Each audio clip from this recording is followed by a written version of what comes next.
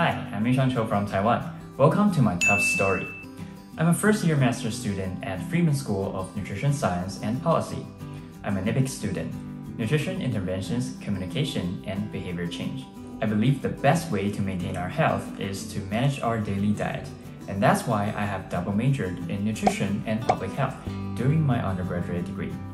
I believe that becoming a registered dietitian will enable me to help people in hospitals and communities. Therefore, here I am, I'm in the Friedman School, the wonderful place that enabled me to pursue my dream. To become a registered dietitian, I also enrolled in the DPD program at Simmons University.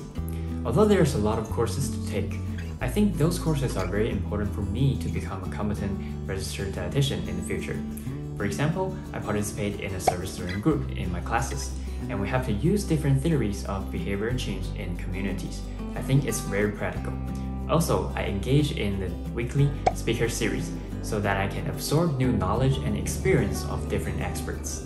Studying at Friedman School, I have abundant resources that are really helpful for me to reach my goal. In addition to the academic resources, Friedman School is also located in a charming city, Boston. As an international student, I really enjoy the cultural diversity here. For example, I tried my first pumpkin carving during Halloween. I paid a visit to a magnificent scene in October. Moreover, Boston and Taipei are sister cities. I can find something that I'm familiar with, for example, bubble tea, when I'm exploring this gorgeous city. In conclusion, studying at Friedman School is the best choice for me to fulfill my dream and I really enjoy the life in Boston. That's my brief sharing of my Tufts story. Thank you very much.